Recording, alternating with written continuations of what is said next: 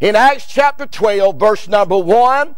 And uh, we'll just read through about verse number 7 or 8 to get the thought for the uh, message today. The Bible said in Acts 12, verse number 1. Now, about that time, Herod the king stretched forth his hands to vex certain of the church, and he killed James, uh, of the brother of John, with the sword. And because he saw it pleased the Jews, he proceeded further uh, to take Peter also. Then were the days uh, of unleavened bread. And when he had apprehended him, he put him in prison um, and delivered him to four quaternions of, of soldiers uh, uh, to keep him, intending after Easter to bring him forth uh, uh to the people. Peter therefore was kept in prison, but prayer uh, uh, was made without ceasing of the church unto God for him. And uh, when Herod would have brought him forth the same night, Peter was sleeping uh, uh, between two soldiers, bound with two chains, uh, and the uh, keepers before the door kept the prison. Um, and behold, the angel of the Lord came unto him, uh, or upon him, and the Bible said, a light shined in the prison, and he smote Peter on the side and raised him up, saying, Arise up quickly, and his chains fell off his hands, uh, and the angel said unto him, Gird thyself uh, and bind on thy sandals. And so he did. Uh, and he said unto him, Cast thy garment uh, about thee and follow me. And let's pray. Our Father, uh, in the precious and lovely name of the Lord Jesus, we bow uh, one more time this side of eternity to thank you for the, the good day that you blessed us with. Thank you for this, our Lord's day. And thank you, Father, for the opportunity to be uh, in the house of the living God. I thank you for the uh, good word of God we've already heard this morning. And I thank you, Father, for the old songs of Zion uh, that we sung. And thank you, Lord, that I know the truth of what they sung about this morning. I'm so thankful, dear Father, for the love of God and that blessed assurance we have in our Lord Jesus Christ. Bless the preacher preaching the good word of God this morning. May preaching come easy. Uh, I pray, dear God, the sweet Holy Ghost uh, uh breathe upon us today, God, that you'll help your servant. Uh, help me that I might help these, your people. Uh, I pray, dear God, you'll send a great revival. let it begin in our hearts and our lives this morning. I pray for every home that's represented. Lord, touch every family. I pray for these young people. Touch them this morning morning. I, I, Lord, breathe upon them. Use them for your glory. I, I pray most of all now, save that soul I, I, that may be here lost and undone without Jesus. I pray, oh God, uh, you'll draw them by your power. We'll thank you, Father, uh, and we'll love you and praise you and give you the glory. Uh, in Jesus' precious name, amen uh, and amen. You may be seated. Uh, I appreciate you standing for the reading uh, of the Word of God. I want to preach preach on the thought this morning about peace. I'm thankful for the wonderful peace of God. I'm glad today in this troubled world you can have peace in your heart. I think one of the most precious passages uh, in all of God's Word is right here before us uh, when it comes to explaining what peace is. Uh, I believe that Peter had the peace of God. Could you imagine it in this passage? Let me just say by way of introduction. This is the last time we'll find Peter mentioned in the book of Acts. We know that from chapters 1 through 12, uh, Peter was the main preacher and the focus was upon his ministry. Uh, but in this passage, Peter will fade off the scene and in chapter 13 begins uh, that ministry of the great apostle Paul.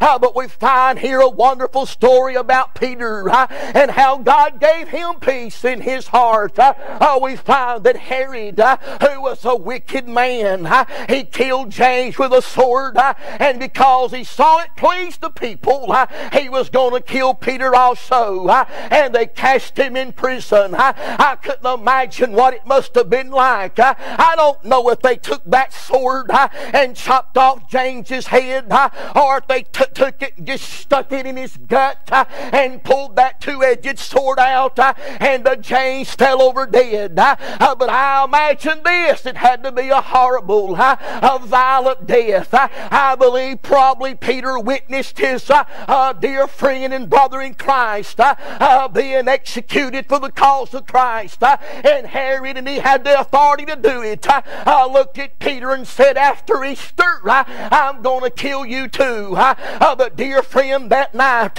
and they take old Peter, cast him in prison. And you know what Peter does? Uh, he kicks his sandals off. Uh, he takes his coat off. Uh, they chain him between two Roman soldiers. Uh, uh, but dear friend, you know what he does? Uh, he just lays his head over on the shoulder of that soldier and begins to go to sleep. I believe probably he might even saw some logs.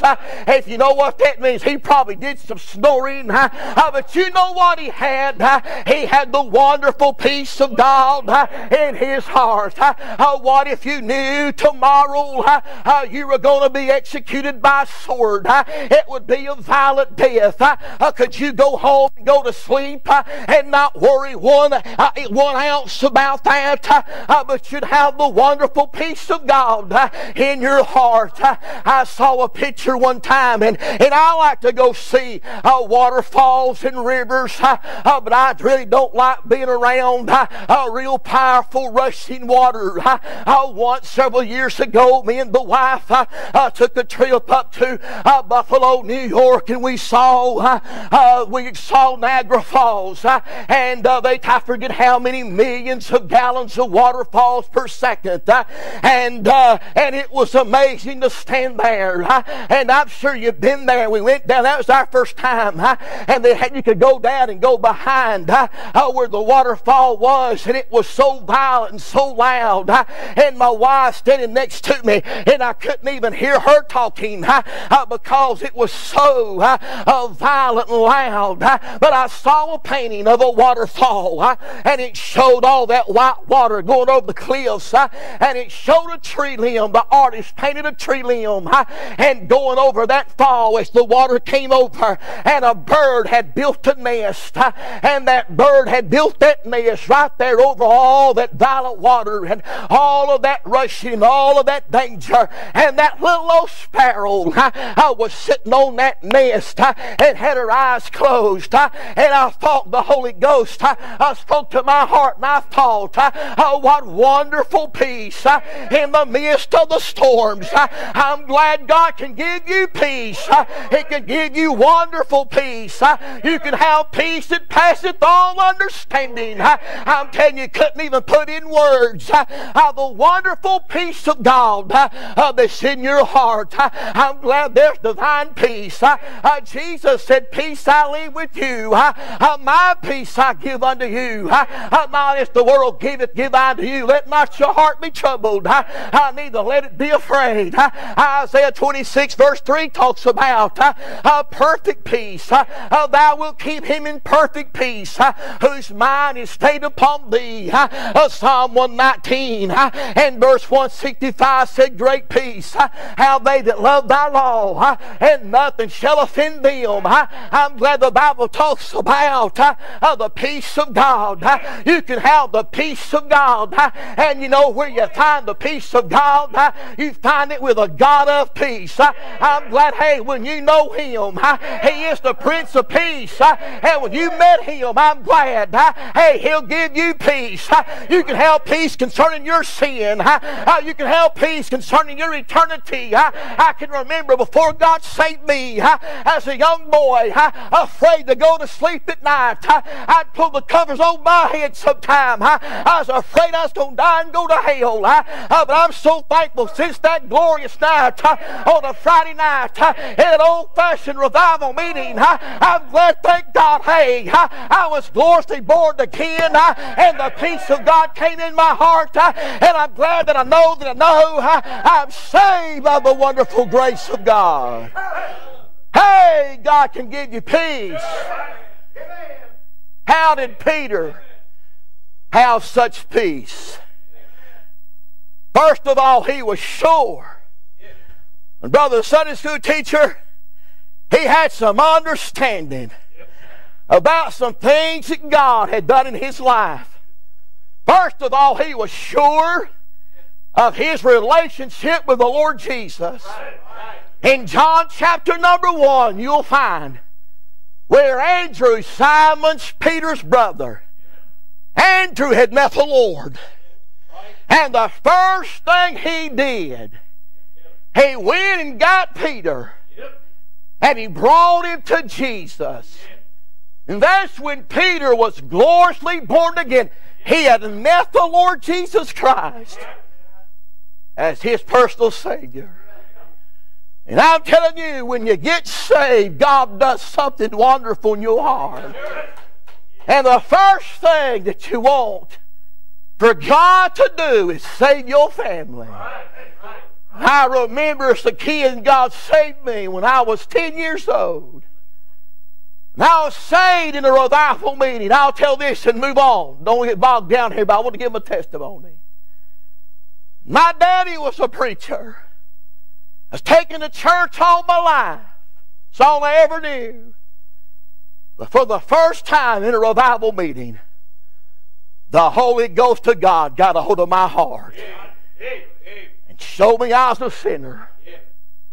I remember going home every night God dealing with my heart.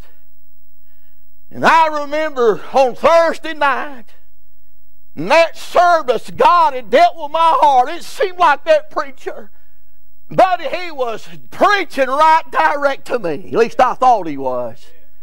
I tell you what he was, it's the Holy Ghost singled me out. Buddy, I knew I was lost and I was going to die and go to hell. I could have got saved every night in that meeting if, if I just went forward, but I just I postponed, I postponed, I postponed. I got two brothers and two sisters. Two sisters older than me, and I was the middle child, two brothers younger than me. If you don't think it's miserable to live in a home, you got two sisters older than you are, you don't know what miserable is when you got two sisters think they're the boss. And they're always trying to tell you what to do. But that little country house I grew up in had the living room on one side, my two sisters had their bedroom on one side, us three boys. We had three little twin beds. I was on the far wall. My youngest brother Darrell in the middle, and Mark was over on the other wall. And after church that night, like kids get into mischief, we got into a pillow fight and should have been asleep.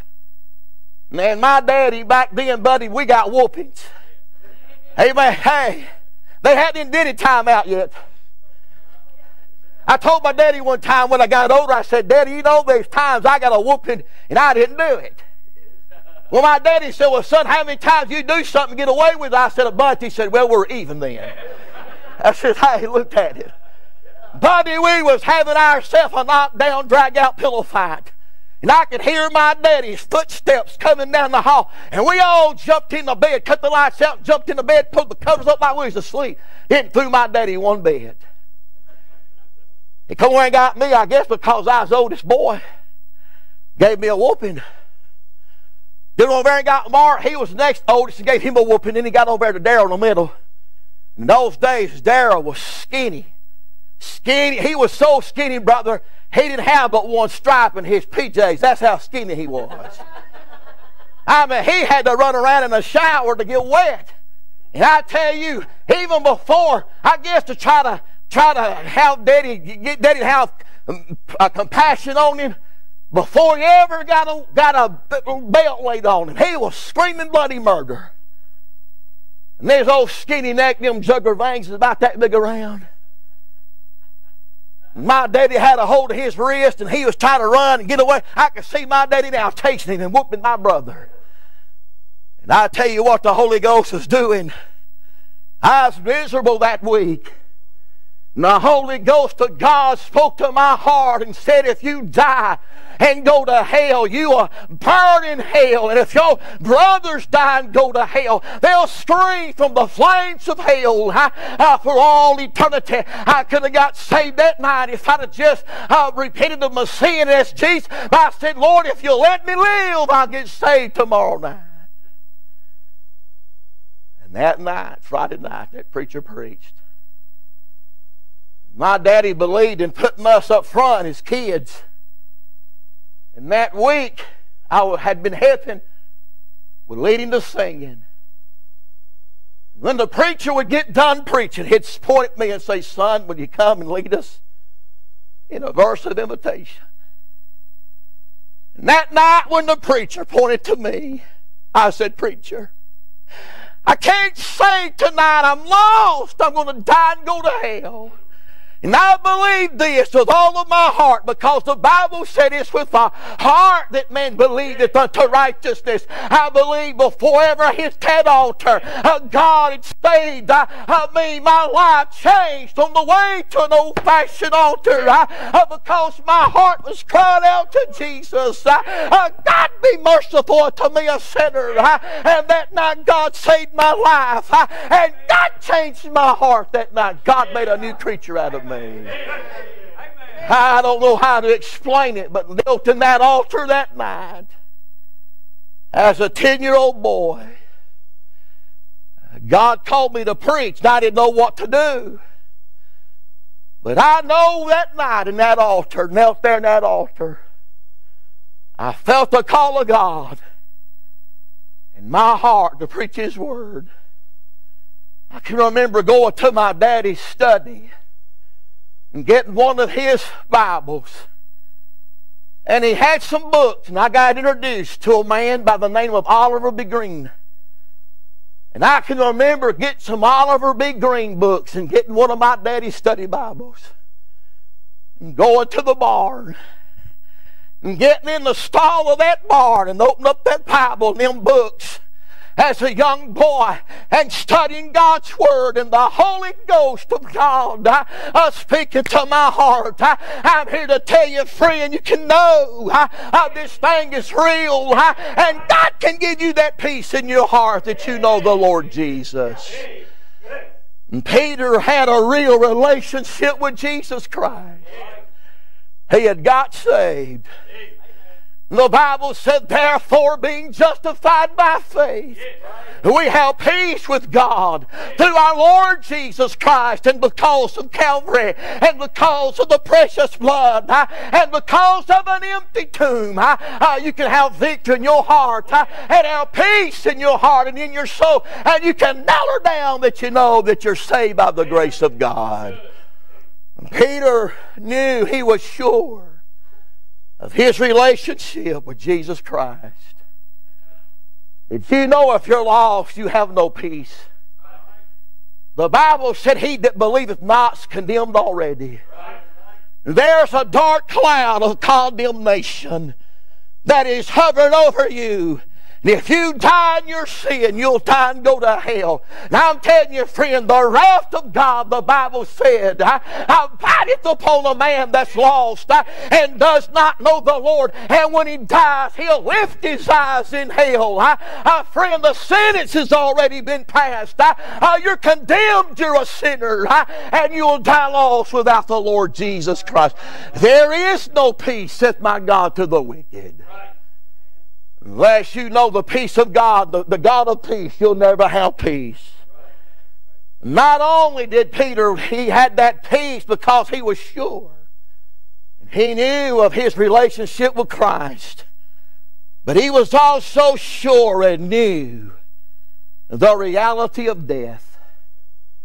Peter in 2 Peter chapter number 1 in verse Number 15, he said, Moreover, I will endeavor that ye may be able after my decease to have these things always in remembrance.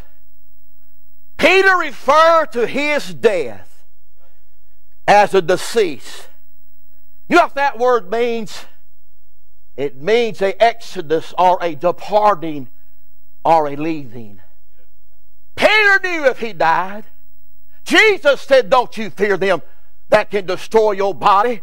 And after that, they can do nothing. You fear him that after he's killed your body, he can cast your soul in hell. And Peter had the assurance in his heart. Uh, he knew when he died, uh, he was going home to be with Jesus. Uh, uh so he did not fear death. Uh, oh, death, where is thy sting? Uh, oh, death, where is thy victory? I'm glad we have victory in Jesus. I don't have to fear death. I'm telling you, friend, it's just good night down here and good morning over there. Uh, that's what death is for a child of God. Death is an exodus.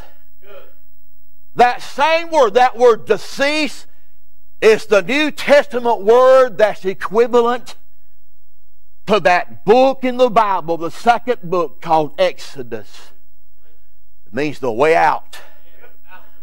God sent Moses down to Egypt to get God's people and bring them out of bondage. And I'm t- the Bible said for a Christian to be absent from the body is to be present with the Lord. Paul said, For me to live is Christ, but to die is gain. Hey, we don't have to fear death. You may not want to go the next boatload, but I tell you what, when your time comes to go, I'm glad you can know that you're ready and you're prepared to meet God, uh, and you can have the wonderful peace of God, uh, and you can know that you're ready to meet the Lord. Oh, I'm telling you, do you know? Do you know? Peter, did you know when Rachel died, Jacob's beloved wife, whom he loved, worked 14 years for her. When she gave birth to Benjamin, Benoni is what she named him, and Jacob named him Benjamin.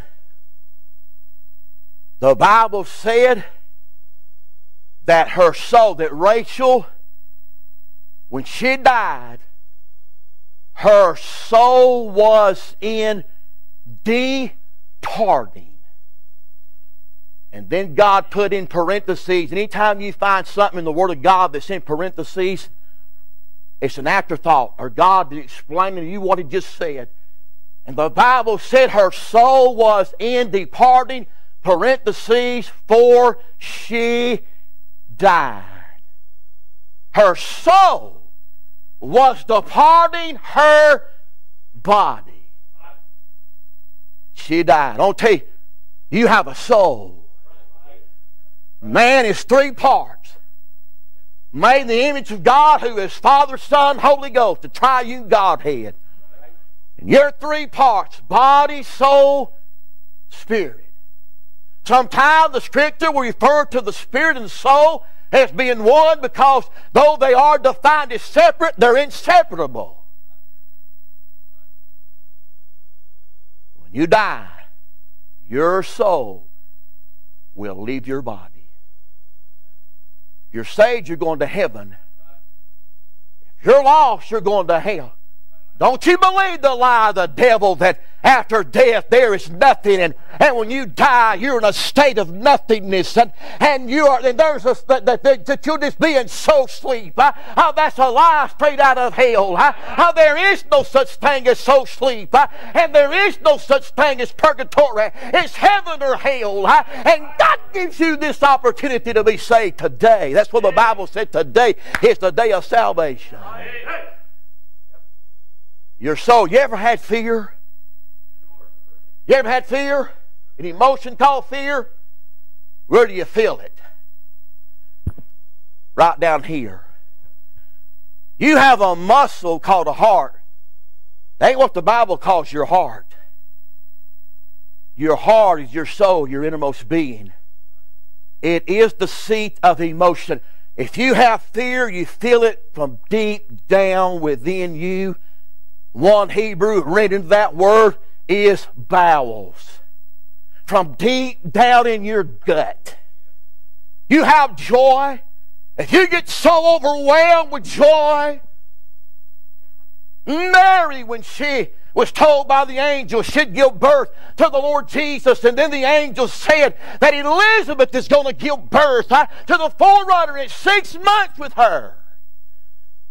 She heard that news. She said, My soul doth magnify the Lord. You feel joy. The Spirit has to do your intellect. You know how you perceive and know things is right up here. That's why there's the teaching. You know, the devil can get up here in your head. He can't get in your soul. If you're saved, he can't live in your soul. But, buddy, he can get in your head and put some thoughts that ain't right. Uh, and he can cause you to doubt sometimes. But I'm glad if Jesus is in your soul, how you're saved by the wonderful grace of God. He lives in your heart, He's in your soul. Death is an exodus it's also an exchange. You know what Peter also mentioned? Not only did he use in 2 Peter chapter 1 the word deceased concerning his death, Peter reminded them before he died. He said, I want to put you to remembrance of these things. He says, I was in that holy mount. I saw his majesty. You know he's talking about? When Jesus was transfigured before them. And they got a glimpse of the glory of Christ. Yeah. His face shone above the brightness of the noonday sun.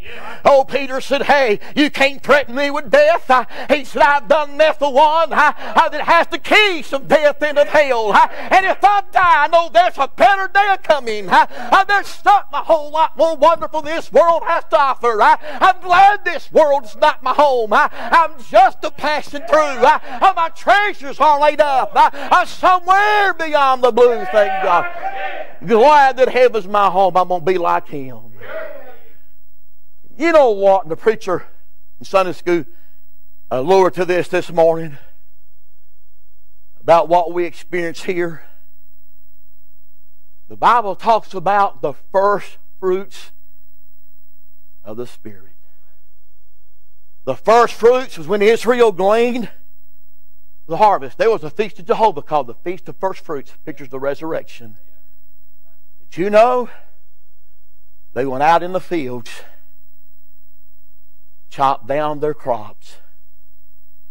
If it was wheat, they'd take them individual stalks of wheat with a rich golden grain fruit at the top.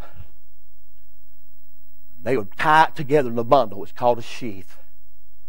And the priest, they'd take it to the priest, and the priest would take that, that bundle of wheat, walk into the holy place before God, one offering was called the heave offering. He just took it and held it up before God, saying, Thank you, Lord, for the harvest. One offering was called a wave offering. He'd take it, hold it up, and just walk around the presence of God, just waving it around in the holy place. Praising God. That's why, that's why it's all right to lift your hands way toward heaven, I promise you, hey, somebody will be waving back at you. I believe that, hey, I got old fashioned mom and daddy uh, that loved me enough to take me to the house of God and I got saved. I, I just like to believe He's leaning over the portals of glory and hollering, Preach, son, preach it. I thank God Almighty uh, for those who know the Lord. It's a whole lot better than what I have down here. I remember my daddy saying, Son, I got a whole lot more on the other side than I got down here. older I get, the more I understand what he's talking about. Almost six years ago now, my daddy didn't like me to say this. I lost my precious mama. Homecoming Sunday, one of the hardest trials I've ever been through in my whole life. At the church where I pastored, homecoming Sunday, my mama fell at church hit her head and it killed her. Oh, I'm telling you, the darkest hour I've ever experienced in my life. For over 30 years, I've been preaching funerals and helping people. But for the first time, I realized what they were going through. I lost my mama. My daddy said, son, you didn't lose her. You can't lose something you know where it's at. But I tell you what, a part of me died when my mama died. But I'm glad, thank God, Jesus lives in my heart. I may miss her more every day, but I'm glad I have that blessed hope. I, am looking for Jesus to come, I, and there will be a glad reunion day, and I'm going to see Mom and Daddy again. I, and I got precious grandparents on the other side. oh, what a hope we have. I, take you not saved, you better get in. Uh, this world is, offers you no real hope and joy and peace. Peter had peace about death. He had peace about his relationship with the Lord Jesus Christ. And let me just say this, now move on. Peace is, our death is not only a, it's an exchange and it's an exodus. It is an engagement. Anybody like to go to the dentist? I never heard anybody say, Whoopee, I'm going to the dentist today. Hallelujah. Y'all want to come along? I hate going so bad. I called, canceled my appointment. There ain't but one thing I hate worse than dentist appointments is snakes. Three kind of snakes I, I hate. Live ones and dead ones and rubber ones. I shoot all three. Amen. But I tell you what, you have an appointment with death. You're going to keep it. Are you sure of your, relationship with Christ? Are you sure of the reality of death? Do you know you'll die and go to heaven or hell? Number three, Peter had peace because he was sure and knew of the reason why he is suffering. It was Peter that wrote that the trial of our faith being much more precious than gold that perisheth, though it be tried with fire, might be found unto praise at the appearing of the Lord Jesus. Peter knew that God had a reason. Ah, he knew that all things work together for good to them who love the Lord. Ah, and Peter could have peace. Ah, he knew that God was doing something wonderful in his life. Storms are going to come. But God can give you peace.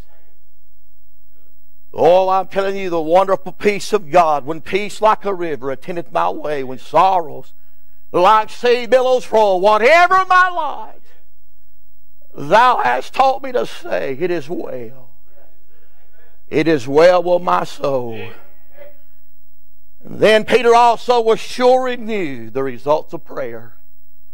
I like Acts chapter 12, verse 5, where the church cease not. You know, God answers prayer. Prayer still changes things. Prayer can still unlock the windows of heaven. Prayer can still meet your need. Hey, prayer can still send a revival. It may look like it. Hey, it may be the case uh, that America's gone too far. But I know this. God said if His people pray, uh, God can still hear from heaven. God can still work miracles. You know, things may not always go like we want it to go. But we trust in God. And we keep praying. I want you to turn to John chapter 21. And I'm done. John 21, verse 18 and 19. While you're turning, I want to read this verse to you from 2 Peter, but you go to John 21. I know you know this, I want you to see it in Scripture. Peter says in 2 Peter 1.14, knowing that shortly I must put off this my tabernacle, even as our Lord Jesus Christ had shewed me. Do you know the Lord showed Peter how he's going to die? None of us know what tomorrow holds. To be honest with you, other than what that book tells me, and I thank God, but as far as my personal life, when and where and how I'm going to die, I don't know. And to be honest with you, I don't want to know. I just want to live for God today while I can, make the best of it. You know what David said? David said, I'll praise you while I have my being. You know what you better do? You better praise God and live for God while you can, while you have the health and while you have a sound mind. There'll come a time you won't be able to. So while you can, you better make the best of every opportunity. Serve the Lord, give you all to God, and worship Him when you come to the house of God. It could be the last opportunity you'd have. But the Lord let Peter know how he's going to die. He lived with that. And as he wrote his last final epistle, he said, It ain't going to be long. I'm going to put off this tabernacle, this old robe of flesh, even as our Lord showed me. And here's what the Lord showed him in John chapter 21, verse 18 and 19. He said, Verily, verily, I say unto thee, when thou wast young, thou girdest thyself and walk this whither thou wouldest. But when thou shalt be I want to stop there. In Acts chapter 12, Peter's in the prime of his life. He's a fairly young man. And the Lord had done give him assurance. You're going to live to be an old man. I believe he went to sleep and said, Hey, Herod, you just don't know what I know. and you just don't know. You know what, you know what Peter was? He was sure he could rely on the promises of God. The Lord had already given him a promise. When you're old, Peter knew he hadn't got old.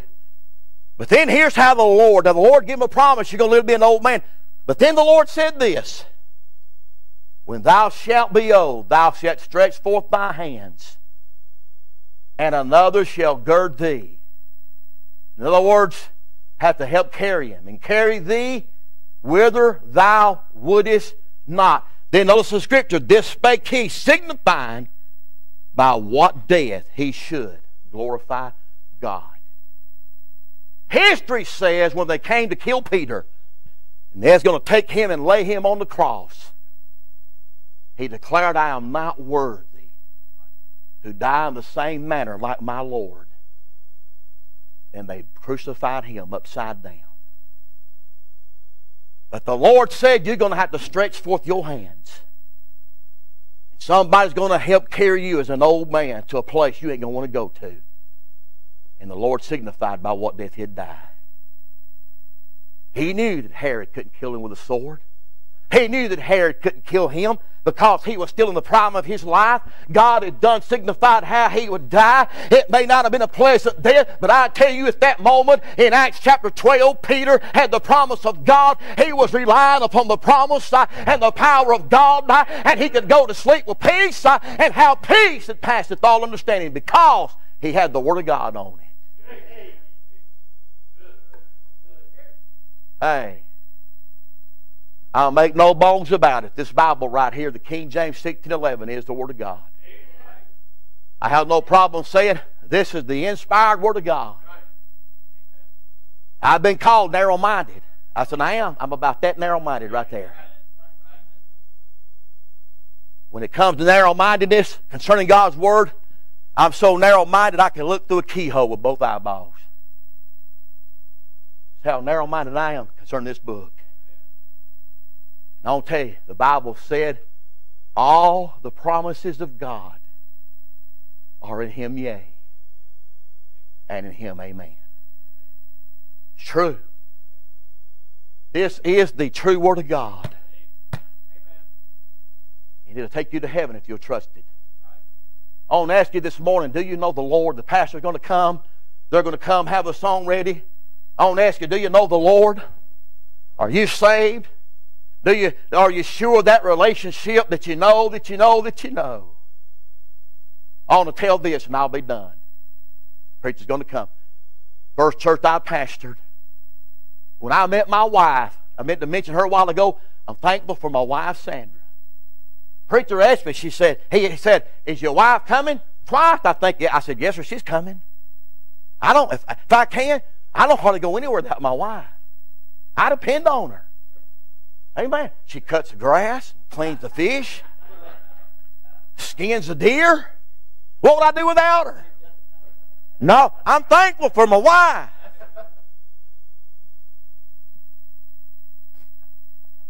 When I first met that woman, she's going to church. Her parents didn't even go. She had godly standards and convictions in her life.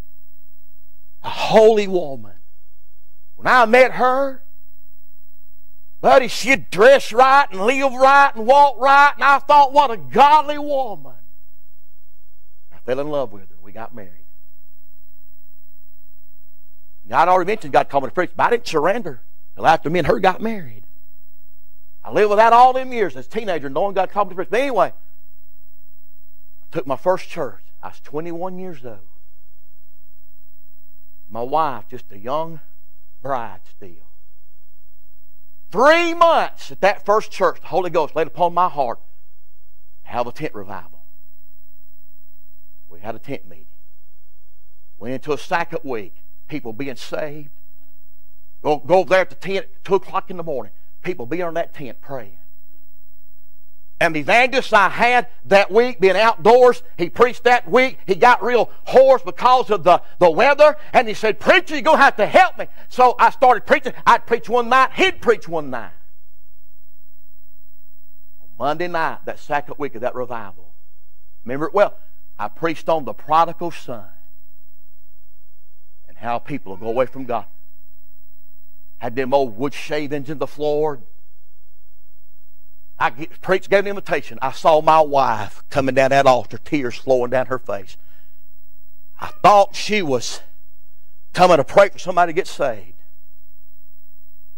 And I continued to give that invitation. My wife got up, walked on that platform, grabbed a hold of me. And in my ear, she was just a crying. She said, I got to get saved. I got to get saved. We knelt down and prayed again. And she got saved and she got testified that she went to the altar as a little girl, made this profession of faith, but didn't trust Jesus. Went because other people went. And God had been dealing with her heart. But she was afraid to say she was lost because now she was a preacher's wife and she's afraid she'd embarrass uh, uh, her husband and, and hurt the minister. And she, she did not want to make that profession because of that reason. She said she'd wake up at night, reach over in the bed, and feel as if I was there. Or uh, go look out in the daytime at our kids in the yard playing and see if they were still there. She was afraid the Lord comes. She'd be left behind. Now, I'm not trying to get anybody to doubt their salvation. I'm telling you this today. Being a church member won't get you to heaven. You still have to be born again, saved by the grace of God. Somebody ought to get it right this morning and get saved. Be ready when the time comes to make that crossing and know that heaven's your home. Father, I pray you'll bless this invitation. Say, some old sinner, Lord, revive your church, and we'll thank you for what you do. In Jesus' precious name. Amen. Did you know that IBC is now on iTunes, TuneIn, SoundCloud, and Google Play? Head on over to your podcast provider and subscribe today. And as always, thanks for listening.